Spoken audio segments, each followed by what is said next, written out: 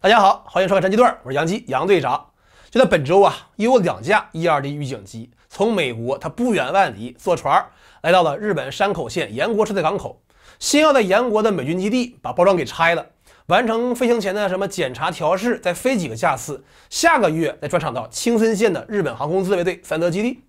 而值得关注的是，在这个山口县的政府网站上说呀，这两架 E-2D 有了重大改进，是真正的啊日本规格。主要是在机翼的折叠段增加了额外油箱，能够把续航时间啊从五六小时增加到八九小时。但是防卫省文件中并未提到这一点，而且我这一看啊，它这个开关状态还叠着个膀子，我就深度怀疑这批 E2D 和之前那一批呀属于地瓜见红薯，没啥区别。咱们看图说话，E2 系列的机翼油箱只在固定段里头有，在折叠段里头是不塞油的。其实也不光 E2 这样。在这个舰载战斗机里头，但凡要折叠机翼的，大多数它折叠段都不塞油。为了降低阻力，这战斗机机翼翼型普遍比较薄，而且肯定是越往外越薄。那外翼段里头啊，没多少油水，这也使得折叠脚垫内部的空间有限，它不好布置油路。这时候你就觉得哈，你像 F 十四这种可变后盾翼好得很，你跟折叠翼一样也能节省空间，而且完事儿还不耽误塞油。不过话说回来。这折叠段就一定不能布置油箱吗？其实格鲁办公司啊，自个儿家就有反例。一代经典，咱们也曾经在国土防空作战中干下两架的 A 六入侵者系列重型舰载攻击机，包括 EA 六 B 徘徊者电子战机在内。为了把最大内油量堆到九千升左右，这么一个跟苏三三啊都大差不差的水平，你反正机翼厚实啊，折叠的脚垫里头空间也大，那就把折叠翼段利用起来，塞上油箱。当然。这就需要啊，把这一块供油转接给设计好了，来保证机翼你是折叠时、打开时都没问题。而相比 A 六那种啊比较正常的折叠方式，E 二的这种折叠方式，你要把想把这个供油转接段啊给安排上，多少是费点劲。所以对于日本来说，你反正还没意欲何为呢，也没有到说变出弹射航母这一步，为了多装点油，E 二的机翼啊不折也罢。当然您要说啊，这种折只是一个便于运输的状态。等这个机翼哎展开之后，给它啊固定了，把油路这一块一次性拾到明白，再从什么沿国飞往三泽，哎那也行吧。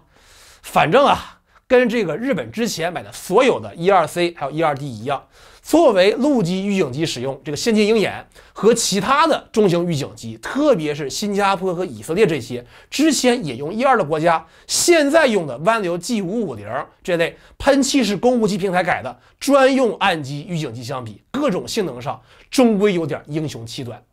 想学以色列和现在的美国这样，你加一个空中烧油管吧。飞机改装呢是简单的，可是航空自卫队没那个能力呀。想改这个硬管加油，哎呀，反正其实啊，对于一二这种机舱里的哥仨，成天在狭小的暗室底盯着屏幕，坐在一排啊竖过来放的三个椅子上，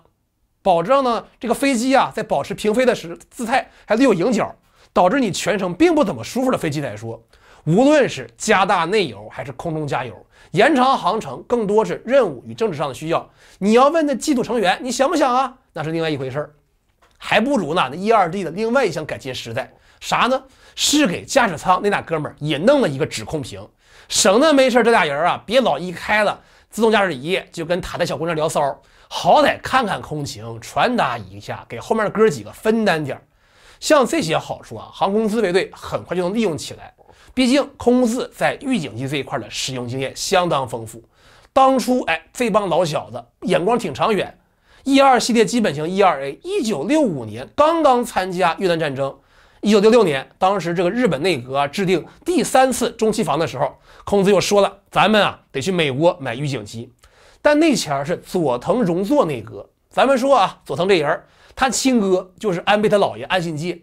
这人是在任期间参拜靖国神社高达十一次，像小泉纯一郎这种新世纪以来去的最多去六次的，跟他一比都简直跟好人一样。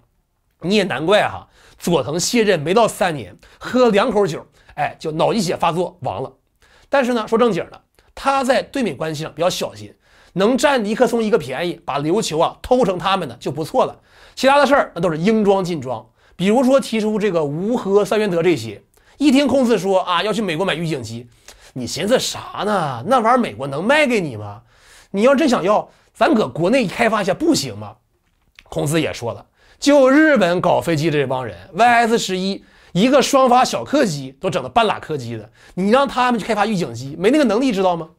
总之，最后啊，第三次中期访是没整这玩意儿，结果就在十年后，一九七六年，别连科中尉开着米格二十五一头冲进函馆机场，让日本的空防体系丢了大人。这个时候，佐藤荣作分头草才知道了，哎，内阁赶紧同意航空自卫队啊，先买个八架，而且啊，买的晚也有好处，直接买的是性能成熟的 E-2C 第二批次。一九八二年五月份，第一架飞机在美国首飞之后没多久，以色列就在贝卡谷地空战中投入了同型机，其战场表现让日本人觉得，哎，买的真值。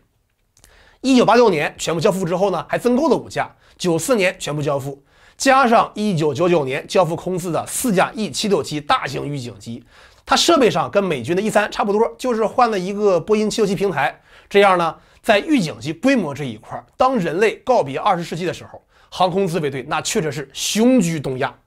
然而，东亚毕竟是怪物房，不仅有那个哎，过了几年自己就能造大中小各种预警机的东亚某国。而且，就许你日本买美国预警机吗？南朝鲜啊，它一样也买得着，买的还是配备了有源相控阵雷达的 E 七三七。在二零一二年的时候，四架飞机全部到位。这时候，日本肯定想要巩固这个地位，也考虑过，哎，的硬件性能相比一二全面超出的 E 七三七。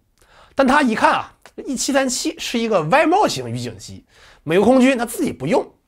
要想在美日同盟架构下迅速形成战斗力，还是尽可能啊保持一致好。于是呢，就接着买了 E 二系列最新型号 E 二 D，数量也是十三架，从二零一五财年到二零一九财年拍下来，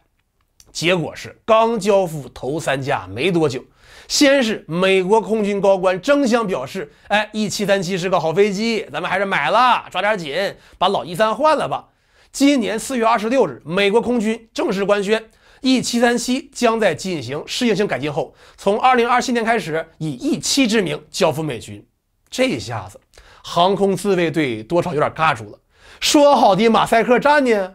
说好的大型预警机没用呢？是一七三七不便宜，英国人二零一九年也订了这五架啊，单价是四亿美元。同一年，空司订了九架 E 二 D，单价是三点五亿美元，也没见便宜哪去。但反正木已成舟了，就按计划来吧。可就这计划呀，都跟日本开玩笑。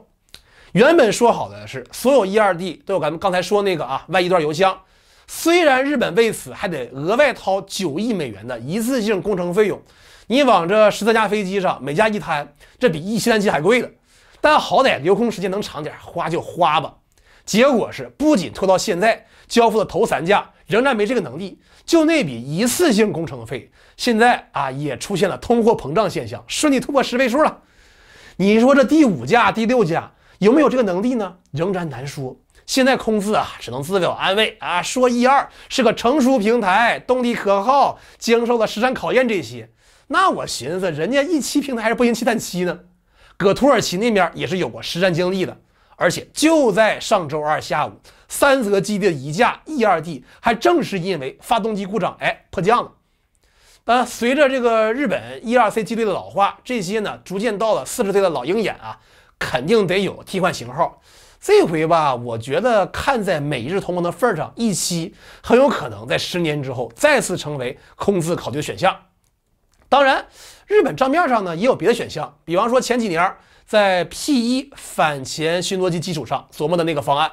不过要我说啊，就别犟了，承认自己当年啊没能像采购 KC767，先于美军发展 KT46 加油机那样，再上演一次尾巴咬狗的奇迹，也不丢人啊，也不咬也不丢狗。空自未来将如何更新其预警机机队，咱们还会接着关注。